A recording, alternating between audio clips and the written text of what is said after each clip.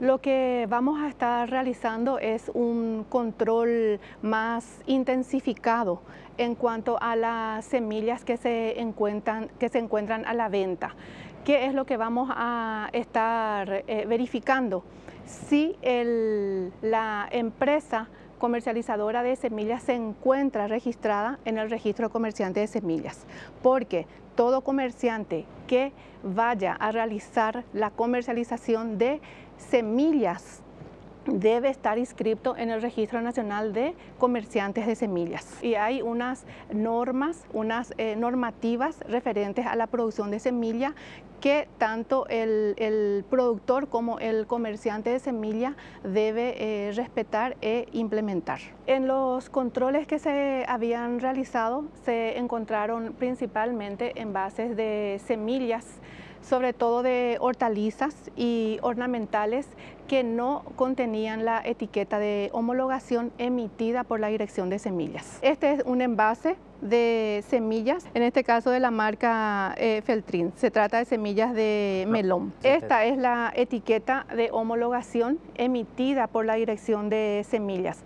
Cuando se trata de semillas importadas, entonces también se emiten las etiquetas de homologación que debe ir adherida por los envases de semillas importados.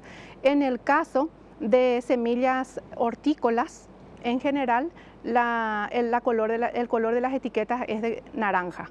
Ah, correcto. En el caso de semillas importadas, cuando se trata de, otras especies, es de color amarillo, tratándose de importadas.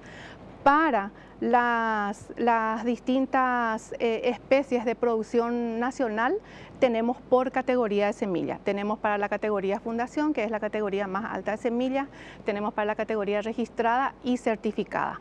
Y también para las semillas fiscalizadas. Se diferencian por el color de las etiquetas existen también esos casos y en estos controles eso es lo que eh, se, estuvo, se estuvo incautando, ¿verdad? En bases de semillas que no contaban con las etiquetas de homologación. Al no contar con las etiquetas de homologación quiere decir que no pasó por un proceso de control. Si se trata de semillas, de semillas nacionales, no, no, no se encuentra etiquetada, entonces significa que es una producción ilegal, ¿verdad? le llamamos también bolsas blancas. Significa que esas semillas no pasaron por el proceso de control. Cuando la semilla pasó por un proceso de control, tiene que tener la etiqueta de homologación emitida por la Dirección de Semillas. Eso eh, avala de que justamente el contenido de ese envase pasó por el sistema de control y que ha cumplido con las normas específicas para la producción de esa especie en particular. El interesado debe estar registrado en el Registro Nacional de Comerciantes de Semillas que lleva la Dirección de Semillas, también como importador de productos y subproductos de origen vegetal. A través de la aduana se le expide una contraseña y la solicitud se realiza a través de la ventanilla única de importación. Entonces el solicitante entra ¿verdad? En, el, sistema, llena la solicitud correspondiente, llena eh, todos los datos y anexa los documentos requeridos. En el caso de, de, semillas sería la factura pro forma y los certificados de análisis que avalan los lotes a ser importados. También si se trata de variedades protegidas también se debe anexar la autorización del obtentor. Estuvieron los compañeros de las oficinas regionales, estuvieron haciendo el control en el departamento de Itapúa, en María Auxiliadora y Tomás Romero Pereira. Justamente estuvieron eh, verificando, pudieron llegar a, dos empresas que se dedicaban a la comercialización de semillas y eh, pudieron encontrar semillas ¿verdad? Que no contenían eh, adheridas las etiquetas de homologación, por lo tanto esas semillas fueron incautadas. Lo que también siempre se, verifica es de que ese comercio dedicado a la comercialización de semillas esté registrado en el registro de comerciantes de semillas, ese es un requisito. Además, se les eh, puede también solicitar el certificado de análisis de los lotes de semillas que ellos vienen comercializando. Eso es un requisito y tiene una validez esos certificados de análisis de acuerdo a las, a las especies.